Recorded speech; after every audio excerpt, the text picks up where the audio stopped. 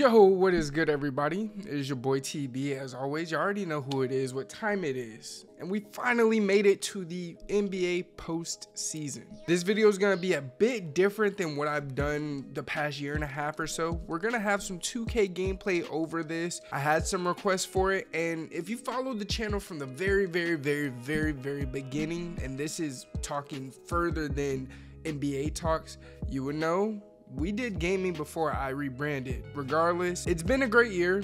And to be honest, this might be the first time in at least the Western Conference where I'm not really able to gauge who's gonna win, who's gonna come out of there. We have some great matchups, some great matchups that are narrative driven, and some great matchups that are just great matchups for basketball in general. You got KD playing Russ again in the first round, you got Sacramento Golden State in the battle for Northern California, and you got the new look Lakers taking on the young guys in Memphis. Now, before we get into it, like, comment, and subscribe if you're new and let me know who your finals prediction is, who you think is going to win, and in how many games, as well as finals MVP. With the intro out the way, let's get into it. Now, obviously, if you're watching this video, the Eastern Conference video, honestly, I'm probably in the midst of uploading it as you hear me talking about the West. So as soon as you're done with this video, go ahead and go to my channel and check out the Eastern Conference video right after this one. But first up in the West, we got Denver and OKC. Now, if OKC does lose tonight, it doesn't really matter if Minnesota does get into the first round because I do feel like the number eight team is going to lose anyway, and that's with the West and the East. So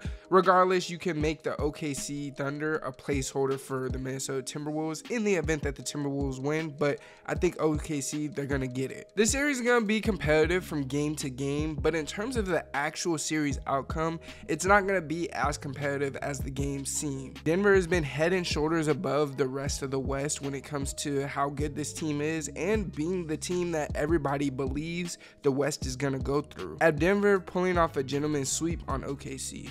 Now, I love OKC, and you already know this. I talk about them all the time on this channel, but Denver is battle tested. Denver is a team that has been to the Western Conference Finals. They're a team that have been the West favorites all year, and they're a team that they're not going to be an easy out by anybody. And with OKC's youth, I think Denver is going to be able to win this one pretty handedly. It all comes down to the fact that OKC just doesn't have an answer for Jokic. And when you don't have an answer for Jokic, you don't have an answer for the Nuggets offense, period. So for that series, I got Denver in five. Now the next series, Memphis plays the Los Angeles Lakers. Now I'm gonna call it now. This is my first upset of the postseason. Now before you call me biased and say I'm just a Lakers fan, consider the fact that Brandon Clarke, he's out. Steven Adams, he's out which means that leaves DPOY Jaren Jackson Jr. essentially by himself out there to guard AD, who I might add has had two phenomenal games against the Grizzlies this year. Aldama is their next tallest guy at 6'11, but with how light he is, I expect Xavier Tillman to be on AD sometimes as well as Triple J. Tillman weighs more in the 240 range, while Aldama is more of a 215, so AD, he would have his way with Aldama, whereas Tillman, he can put up a fight with regard to strength and weight. Now, during the regular season, as I said, the Lakers won the series 2 to 1. One game, AD didn't play. In the loss that we had against them, he had 28 points and 19 rebounds. And the most recent game we played them, AD had a 30 and 20 game. Like I said, AD plays well against this athletic but small team and they're even more small without Brandon Clarke and Steven Adams. Based on how he's played against Memphis all year, I personally think we could trust AD so long as his health stays intact, which I think it will because it has for the better part of the end of the year. AD essentially is going to be unstoppable this series, and though it will be very competitive, and I'm not saying the Memphis Grizzlies are going to get walked off the floor, I still think the Lakers are going to get this one in six. With regard to Memphis and the rest of the Western Conference, I think the Lakers are the best team to match up with them, especially with their two backup bigs out. That leads us to the next series, and this is Sacramento and Golden State. Now, this is going to be a very exciting series in the first round, in my opinion. As I said in the beginning, this is the battle for Northern California, a game against a team that's ran the North for the better half of the decade, against a team that's looking to take the a throne away. Sacramento is an amazing team, but I'll be honest, I am one of the believers that their three seed is more of a product of the rest of the Western Conference dealing with injuries and other turmoil with their superstars being missing off of certain teams. In the playoffs, experience is very valuable, and Sacramento is one of those teams with the most inexperience in the playoffs. I think now is the time for Golden State to tee up a little bit, and I think they're going to take this one in seven. It's going to be a hard fought series both ways, but the reason I think going to seven, it's strictly because of my distrust for Golden State's play on the road. They're horrible. They're awful on the road. Sacramento plays extremely well at home, so that's going to be tough for Golden State. But in the end all be all, with all that being said, and I know this contradicts myself, I trust Golden State to win one game in Sacramento more than I trust Sacramento to win one game in Golden State. So I think they're going to take it to seven, but I think Golden State, they're going to pull off one of those wins in Sacramento. This brings us to our 4-5 matchup, which is Phoenix and the Clippers. Now, this one is going to be an amazing series as well. Like I said before, the Western Conference is going to be great basketball, great playoff basketball, the whole playoffs. And this series no doubt is one of the reasons why. Obviously, a couple years ago, this series would have been the most anticipated had Russ went to LA and KD had gone to the Suns originally after leaving OKC. So that storyline is a bit stale, at least to me nonetheless, it's always fun to see these two battle because they're two of the most competitive players in the league and they're always going to do that. PG is out for the whole series, so it's mostly gonna be on Kawhi to lead the Clippers, which obviously we've seen him be able to do. Phoenix doesn't have anyone to guard him, while I think he could be the primary guy that's on KD or even Booker. Now, whichever one he's not guarding, they're gonna get theirs because PG is out now, if PG was here, it would be a lot easier for me to say that the Clippers would take this series and play the Nuggets in the second round. But without PG, it's hard for me to say that because I feel like there's going to be one or two games where the Clippers can't overcome a bad Russ game. And it's going to suck because that's going to have the Suns winning in six. It's going to be to their demise. That's not to say Russ sucks because Russ does not suck. But Russell Westbrook has his moments, he has his times in games.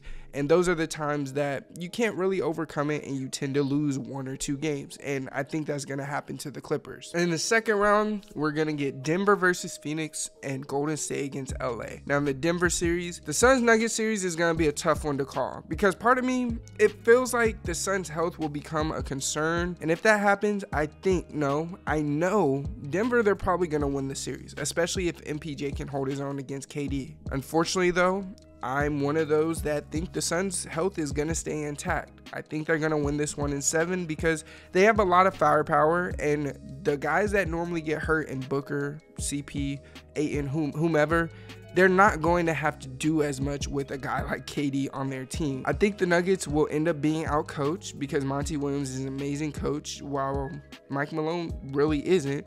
And that's going to ultimately be why they lose this series above all else. We already know the narrative will be that Jokic came up short, didn't deserve MVPs, and all this other slander towards him. But to me, I believe it's going to be on Mike Malone and not any single player on Denver's team. And that's whether they lose in the second round or the Western Conference Finals. At the bottom of the bracket, we're going to have the Warriors and Lakers meeting each other. Again, I think the Warriors go to seven games again. And like I said before, their horrible road record, it's much to do with that. And a road record, to me, it's very important when you're dictating and determining who's going to be a championship team and who isn't. If you weren't a good road team in the regular season, you for damn sure are not about to be a good road team when the playoffs start, when basketball gets harder, really. Now, the Warriors, they still do play some of the highest IQ basketball in the league, and though they haven't been the same, these were the same things we were saying last year. And though they made it to the top, they made it to the end, the Warriors, they're at the point where they've gained my trust more than my own team has after after this decade and a half of domination. I think the Lakers will win two or three games off of a big AD game, big LeBron game. But I think when it gets to seven, it's going to be one of those games that they're battling back and forth all game. But the way the Lakers close games, or lack thereof, I should say, in important moments, it has me leaning toward Golden State, especially with how they finish games in the latter half of the year. Now, it might be a different story if the Lakers played at home for the first two games, being that they would have momentum being up 2 0 that quick. And I do trust the Lakers to get one Golden State but they don't. Therefore, I have Golden State in seven. This leads up to a matchup between the Warriors and the Suns in the Western Conference Finals. And honestly, the NBA, they should just make me a scriptwriter for the narrative, storylines, all that, because this this is a crazy one. KD goes back to Golden State. The Warriors beating KD shows them that he needed them more than they needed him. And the Suns, they have their absolute best shot at a title right now. I know depending on the Suns' health is a major caveat. I'm, I'm gonna keep saying it, I'm gonna keep mentioning it because every team, they have their flaws even if they're a contender. But I don't think their health is gonna really come into factor too much with how much and how well they've rested. And I think KD and Book will be a little too much for Golden State to handle. With Andrew Wiggins back, they will look a lot better, but one does have to wonder where his endurance will be after such a long hiatus. And as much as I'd rather see Golden State win, I think the Suns will be a little bit too dominant against a team that is questionable whether Steph is going or not. We've seen them lose in a game where Steph scored 50,